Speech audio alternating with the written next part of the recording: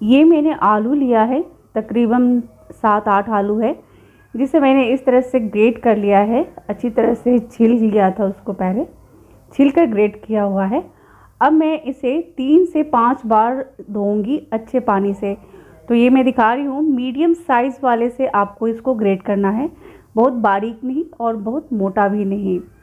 तो इसको तब तक आपको धोना है, जब तक कि ये पानी बिल्कुल वाइट ना हो जाए ये मैं तीन चार बार पहले ही वॉश कर चुकी हूँ और अब दिखा रही हूँ मैं, जब वॉश करूँगी तो देखिए, अभी भी ये पानी वाइट नहीं हुआ है। अब लास्ट में मैं एक बार और इसे धो के आपको दिखाती हूँ।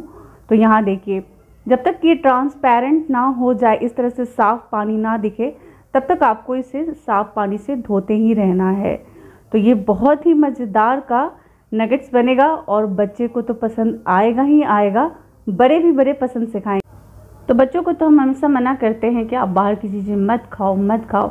वो हमारी बात मान भी लेते हैं, पर उनकी मन की भी तो बात हमें माननी चाहिए ना। तो चलिए, उनके पसंद का ही कुछ ये रेसिपी बन रहा है, जो उन्हें बहुत ही पसंद आएगा।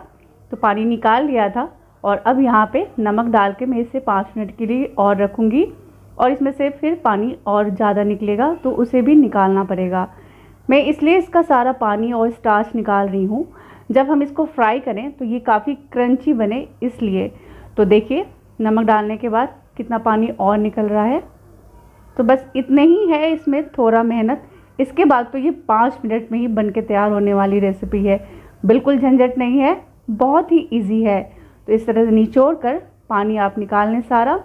और अब हम इसमें कुछ इन्ग्रीडियंट मिक्स करेंगे तो वो देख लेते हैं। तो सबसे पहले मैं यहाँ पे इसे प्लेट में ऐसे फैला दिया है। देखिए कितना ड्राई हो चला है पहले ही पानी निकलने की वजह से। तो अब यहाँ पे एक स्पून जितना ही मैं कॉर्नफ्लावर या अगर आपके पास राइस फ्लावर है तो आप वो भी डाल सकते हैं। उसके बाद ये मैंने पिज़्ज़ा हर्ब्स पिज़्ज़ा और डाल दीजिए, जो भी है आपके पास हर्ब्स उसके बाद आप यहाँ पे चिली फ्लेक्स डाल दीजिए ब्लैक पेपर डाल दीजिए और ये चॉप किया हुआ धनिया पत्ता है। इसे भी डाल देंगे और ग्रेट किया हुआ यहाँ पे लहसुन है। तो चार से पाँच लहसुन लिया है जो मैंने ऐसे ग्रेट कर लिया है। पसंद है तो डाल सकते हैं, नहीं तो स्किप भी कर सकते हैं, आपके ऊपर है। इसके बाद मैं यहाँ पे थोड़ा सा चीज़ भी ऐड करूँगी। तो बच्चों का है तो बच्चों के पसंद के हिसाब से ही बनेगा ना ये। तो यहाँ पे ये डाइस किया हुआ चीज़ मैं यहाँ पे ऐड कर रही हूँ। तो अच्छे से सबको मिक्स कर लेना है और बहुत ही हल्के हाथों से दबाते हुए आपको इस तरह से राउंड राउंड बना लेना देखिए कितने इजी से बन गया ना। तो बस हल्का हल्का प्रेस कीजिए और इस तरह से उछालिए। तो ये अच्छे से लड्डू के जैसा छोटे छोटे नगट्स आपको बना लेना है। उसके बाद अब हम इसे डीप फ्राई करेंगे। तो पहले आप सब बना के रख लीजिए। ये दो मिनट के अंदर सारा फ्राई हो जाएगा। तो इसलिए आप पहले ही बना के रख लीजिए। बिल्कुल टाइम नहीं लगेगा। तो डीप फ्राई करना है।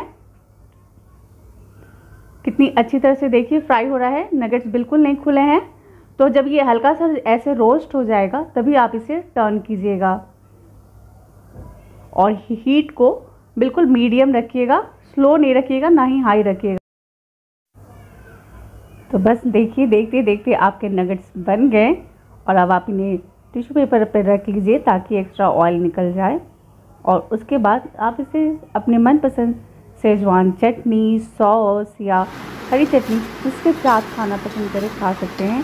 तो मैं आपको एक यहाँ पे दिखा रही हूँ कि देखिए इसकी आवाज़ कितनी करारी करारी आ रही है। तो बाहर से हार्ड और अंदर से देखिए कितना सॉफ्ट है ये। चीज़ की वजह से काफ़ी जूसी भी है ये अंदर से। बहुत ही टेस्टी लगेगा। बच्चे तो इसे एक मिनट में चट कर जाएँगे और आप भी नहीं छोड़ेंगे। इसकी गारंटी मैं लेती हूँ।